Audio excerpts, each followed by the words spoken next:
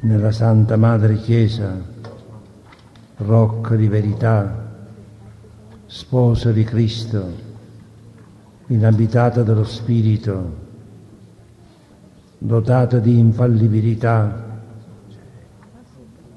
quando si tratta dell'eterna nostra salute, strumento di salvezza per tutti gli uomini.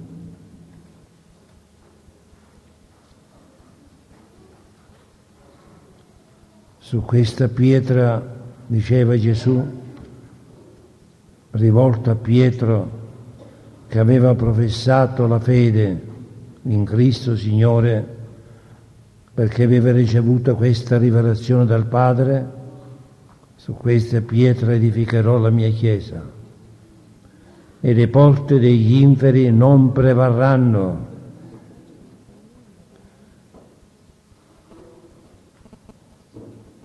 Queste parole ci, mi ricordano le parole che Dio disse al serpente quando presentò Maria, che è madre della Chiesa, modello della Chiesa, tu insiderai al tuo calcagno, ma essa ti schiaccerà la testa. Il nemico può insidiare la Chiesa può sbatterla, può infiltrarla con mille eresie, può scuoterla, ma non può fare tanto da sommergere questa barca perché nella barca della Chiesa c'è Cristo Signore che insegna e che governa. E questa fede che noi dobbiamo avere oggi più che ieri. E in questa fede noi dobbiamo camminare, proseguire il cammino, per questa fede dobbiamo dare anche la vita. La Santa Madre Chiesa, nelle sue ginocchia, diceva Origene, che pure fu condannato dalla Chiesa per qualche cosa errata, per qualche frase errata. Lui sommo padre e sommo teologo. Nella Santa Madre Chiesa io voglio vivere come un bimbo sulle sue ginocchia e nel grembo della Madre Chiesa io voglio morire. Quando parliamo e diciamo questa parola Chiesa, dobbiamo cadere in ginocchio, perché la Chiesa è la sposa di Cristo Immacolato, colei per cui Cristo ha dato il suo sangue, colei in cui lo, Cristo ha effuso il suo spirito che la rende infallibile colei che è la madre nostra, che ci nutre con la parola di Dio che le venne consegnate nelle scritture, colei che ci nutre con i sacramenti, colei che è diffusa in tutto il mondo, dovunque c'è un uomo, ivi si estende la sollecitudine della Chiesa. E non dobbiamo temere due cose. La prima è che la Chiesa possa sbagliarsi. Non si può sbagliare mai. Anche che i singoli uomini possono sbagliare. Ma quando la Chiesa, nell'esercizio della sua autorità, si pronunzia, quella verità e verità di Dio che noi dobbiamo accettare e credere. E un'altra cosa, non sottrarci mai alla guida della Chiesa. Coloro che si sono sottratti alla guida della Chiesa sono andati perduti, anche che avevano una, una patina di verità, una patina di carità, una patene di Spirito Santo sono andati perduti, perché è alla Chiesa che Cristo ha affidato la custodia degli uomini, la guida degli uomini. Da noi si richiede adesione della mente alla verità che essa ci insegna e docile adesione della volontà alla guida. Questo se vale per tutti, vale per noi che abbiamo ricevuto l'effusione dello Spirito, perché è lo Spirito che è nella Chiesa, che è dentro di noi ed è lo Spirito, Spirito di verità, Spirito che guida. Non può la guida dello Spirito dissentire dallo Spirito della Chiesa. Quello che la Chiesa ci insegna, quello che la Chiesa ci, ci dice, quello lo Spirito ci insegna e ci dice. E se noi crediamo diversamente,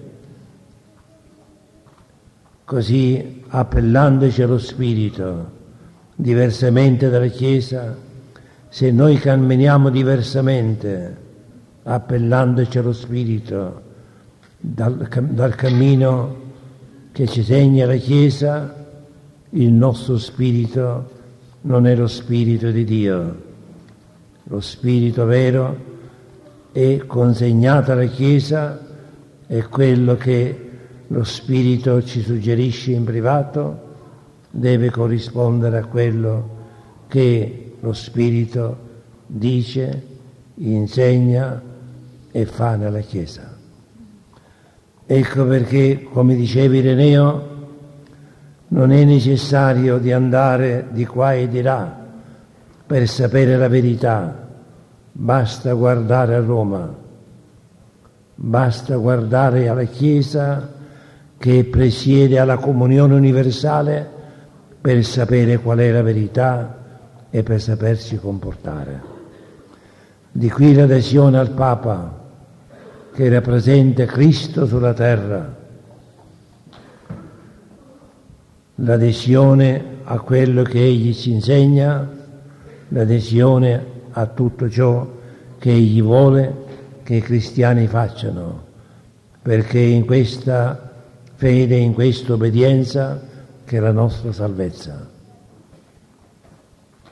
Questo lo dico perché tante volte noi possiamo avere la tentazione di deviare, non nelle grandi cose, ma anche in piccole cose, da quelle che la Chiesa ci dice. Alle volte siamo tentati di avere opinioni particolari o modi di fare particolari, no. Quella che la Chiesa ci insegna, quella la strada da percorrere, quella che la Chiesa ci dice di fare, quello è il cammino che dobbiamo tenere.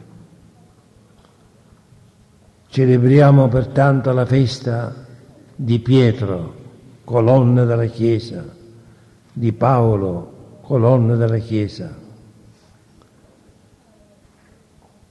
Nella liturgia di oggi, come nella liturgia di ieri, vigilia, abbiamo due fatti che interessano. Nella liturgia di ieri, ossia della vigilia, abbiamo la guarigione della,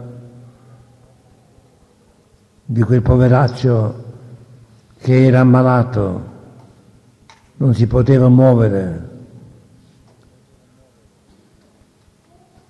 l'epilettico, idropico, comunque che non aveva l'uso delle gambe, lì alla porta speciosa alla porta del Tempio. Pietro e Giovanni entrano e dicono a quel paralitico che domandava l'elemosina, noi non abbiamo né oro né argento, ci diamo quello che noi abbiamo. Che cosa avevano? Cristo avevano. Noi dobbiamo poter dare Cristo agli uomini. Non abbiamo altro. Pietro e Giovanni non avevano né oro né argento, non avevano niente, ma avevano una grande ricchezza, Cristo. Cristo che insegna, Cristo che guarisce. E allora soggiunge ancora Pietro nel nome di Cristo di Nazareth, nel nome di Gesù, alzati, cammina. E all'istante quel paralitico balza in piedi e incomincia a saltellare nel Tempio, tanto che la gente che lo conosceva dice a me è lui o non è lui? Altri dicevano no, è lui, altri dicevano non può essere e uno che gli somiglia. E lui diceva sono io, sono io, Pietro mi ha guarito. Mi ha detto nel nome di Gesù alzati, cammina, balza in piedi ed eccomi qui sano davanti a voi.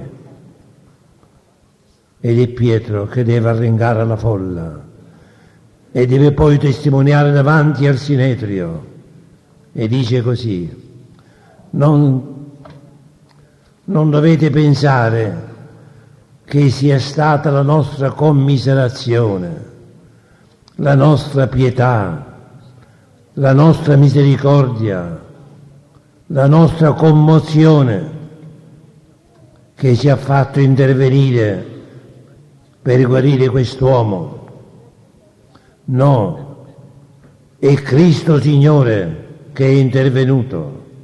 E nel nome di Cristo, è il nome di Cristo che lo ha guarito. È il nome di Cristo che lo fa stare in piedi, perché Lui, Lui è il Salvatore degli uomini.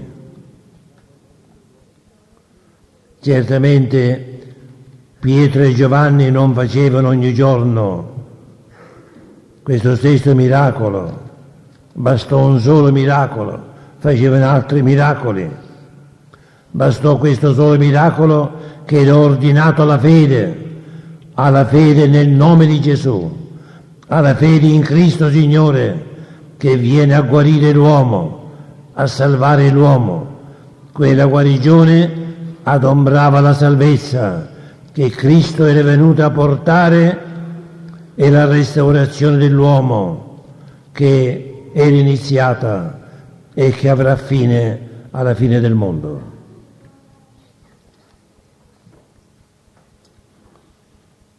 L'altro episodio è quello della liberazione nell'epistola di oggi. Pietro è in prigione, la Chiesa è in preghiera. Quando uno dei capi è in difficoltà, la Chiesa non sta seduta. La Chiesa è legata ai suoi capi, perché sono i capi della Chiesa, sono quelli che nel nome di Cristo governano, che assicurano la presenza di Cristo. Quando Pietro è in prigione, la Chiesa non sta seduta, la Chiesa non si disperde, ma la Chiesa è in ginocchio, la Chiesa è in preghiera per togliere Pietro dalla situazione in cui si trova. E la forza della Chiesa orante provoca il miracolo questa volta è Dio che mandi il suo angelo, il quale scende in prigione, apre le porte, scioglie le catene di Pietro, rompe i catenacci, spalanca le porte e dice a Pietro, vieni dietro di me, sei libero. e Pietro libero esce. Ecco la forza della preghiera. La forza della preghiera che ottiene il miracolo. Ecco la compattezza della Chiesa. La Chiesa è legata al suo capo, non lo molla davanti a Dio, non ha pace finché non riottiene il ritorno di Pietro in mezzo al suo gregge.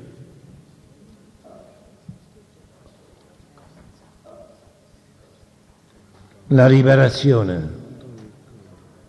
Lì abbiamo un quadro. Non è Pietro, ma è Gesù, liberatore. Abbiamo alle spalle un Cristo con le braccia aperte, Cristo che libera l'uomo. La liberazione di Pietro è anche un segno della liberazione nostra. Tutti siamo stati liberati da Cristo Signore. Proprio nella casa di Cornelio Pietro dice da tre anni, per tre anni Cristo è andato su e giù per la Galilea e la Giudea, facendo del bene, risanando tutti e liberando tutti quelli che erano sotto il dominio del diavolo. Noi veniamo liberati continuamente da Cristo, veniamo risanati da Cristo. Questa mattina noi vogliamo celebrare questo risanamento e questa liberazione che ci viene da Cristo Signore, presente nella sua Chiesa, presente ed operante nei suoi ministri, presente e operante in tutti quelli che nel suo nome gridano misericordia a Dio e scongiurano le forze del male perché lasciano liberi i prigionieri. Questa mattina vogliamo pregare il Signore, tutti un cuor solo e un'anima sola, perché tutti siamo ammalati e tutti siamo prigionieri, non soltanto quelli che gridano, ma un po' tutti, in una maniera o in un'altra siamo malati, siamo così come quell'epilettico o come quell'idropico o come quel paralitico alla porta del Tempio. Tutti siamo prigionieri come Pietro e abbiamo bisogno dell'angelo del Signore che venga a scatenarci. E questa mattina noi vogliamo pregare per questo risanamento e per questa liberazione. O Signore Gesù, che operi in Pietro, che operi in Paolo, che operi nella Chiesa di oggi, che operi anche qui. O Signore Gesù, risana ciascuno di noi, risanaci nella fede, nella speranza e nell'amore, risanaci nelle nostre infermità spirituali psichiche e fisiche. O Signore Gesù, libera i prigionieri. Io sono colui, tu dici nel Salmo, che guarisco tutte le tue malattie, che ti risollevo dalla fossa e rinnovo la tua giovinezza. O Signore Gesù, liberaci, risollevaci dalle nostre cadute, sollevaci dalla fossa perché noi ti possiamo benedire e glorificare, perché possiamo cantare al tuo nome, o Signore, o Signore trionfatore dell'inferno, o Signore trionfatore di tutte le malattie, o Signore liberatore, o Signore che liberi e salvi ciascuno di noi, noi ti preghiamo in questo momento. Mandi il tuo spirito vivificatore, mandi il tuo spirito liberatore. E voi, Pietro e Paolo, che nel nome di Cristo guariste tanti infermi, avete risuscitato tanti morti, avete fatto tanto bene, impetrate ancora per noi la potenza dello Spirito, perché ancora noi abbiamo bisogno di guarigione e di liberazione. Spirito di Dio.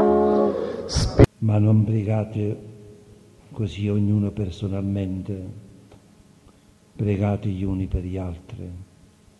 È un atto di carità. Accogliamoci gli uni gli altri, presentiamoci gli uni gli altri al Signore. Ognuno preghi per il proprio fratello, per la propria sorella che ha accanto. Ecco, mettete così la mano oppure datevi la mano con il fratello di destra e di sinistra e ognuno preghi per il proprio fratello, per la propria sorella, cantando all'uomo di Galilea perché voglia toccarci, perché voglia guardarci con amore perché voglio liberarci. Preghiamo gli uni per gli altri nella sicurezza che la forza del Signore attraverso il fratello, poco importa che sia, ma la forza del Signore ci raggiunga. O Signore Gesù, io ti prego, non guardare la nostra pochezza, non guardare lo strumento inutile che noi siamo, non guardare neanche il nostro peccato.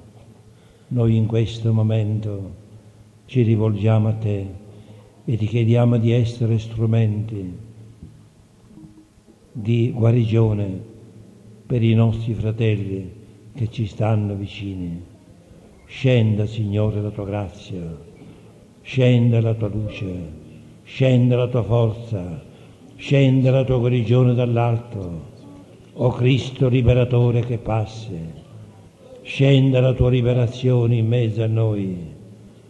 O Signore Gesù, guariscici, uomo di Galilea, vieni a salvarci in questo momento, vieni a stoccare tutti, vieni a guarire tutti, vieni a liberare tutti, o Signore, in modo che questa assemblea sia un'assemblea di salvati, di guariti e di liberati.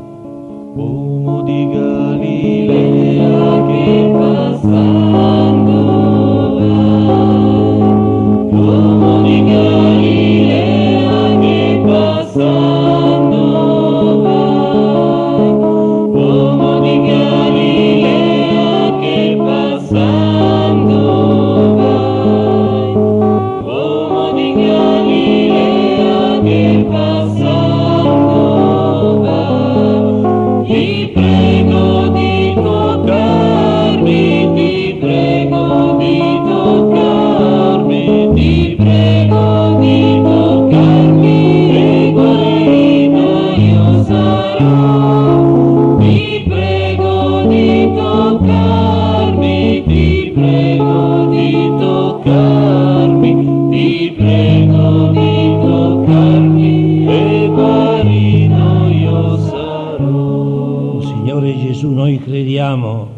tu puoi guarire un tumore, che tu puoi guarire i tumori di tante persone. Noi abbiamo questa fede, questa fede in te ed è questa liberazione da questo terribile male, questa guarigione che noi ti chiediamo in questo momento e la guarigione di altre malattie. Noi lo crediamo fermamente e ti diciamo, uomo di Galilea, ti prego di liberarmi. Uomo di Galilea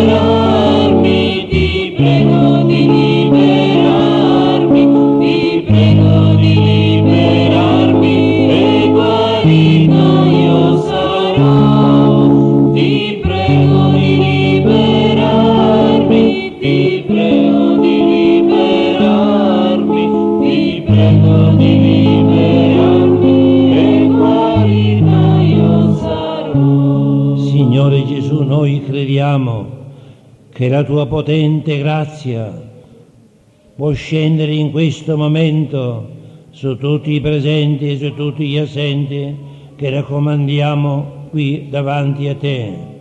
Noi crediamo, Signore, che tante malattie questa mattina cederanno alla forza dello Spirito Santo che esce da te. O Santi Apostoli Pietro e Paolo, intercedete per noi in questo momento.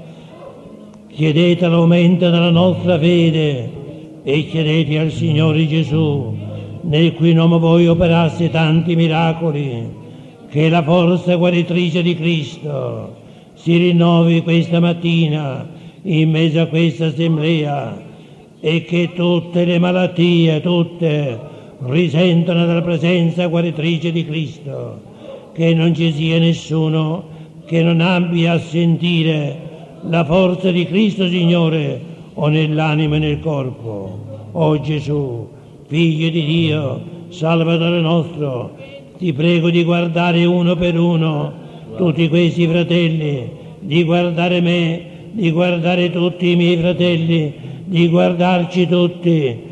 Il tuo sguardo ci guarisca, la tua luce penetra dentro di noi, la tua forza guaritrice attraverso il tuo sguardo penetra nelle nostre ossa, penetra dentro l'anima nostra e produca la salvezza. Uomo di Galilea, ti prego di guardarci. Uomo di Galilea che passando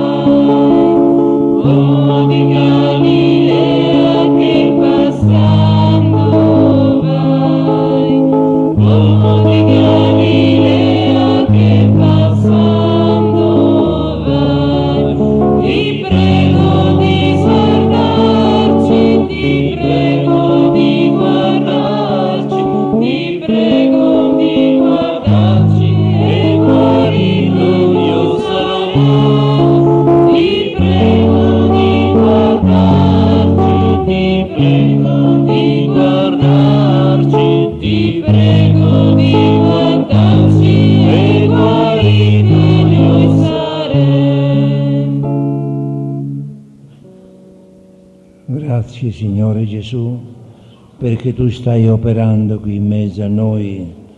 Tu già hai operato e continuerai a operare durante questo sacrificio in cui immoli ancora una volta te stesso per la nostra salvezza, offrendo il tuo corpo e il tuo sangue in sacrificio a Dio Padre. E adesso, fratelli e sorelle, preghiamo per gli assenti, Preghiamo per quelli che si raccomandano nelle nostre preghiere, per i nostri cari vicini e lontani, per quelli che hanno scritto hanno telefonato, per quelli che giacciono negli ospedali della città, negli ospedali o nelle corsie di altre case di cura. Preghiamo per tutti gli assenti in un atto di carità, perché vengono gli angeli del Signore a portare da questo sacrificio la salvezza per tutte queste care persone. O Signore Gesù, il tuo sacrificio sia di giovamento per tutti, o Signore, per tutti quelli che ti raccomandiamo. Voli sulle ali del vento, la tua guarigione. Tu hai detto una parola e sulle ali delle parole hai portato la guarigione. Tu hai parlato e la tua parola ha guarito. O Signore, vengono gli angeli santi a portare la tua parola che salva a tutti quelli per i quali noi ti preghiamo.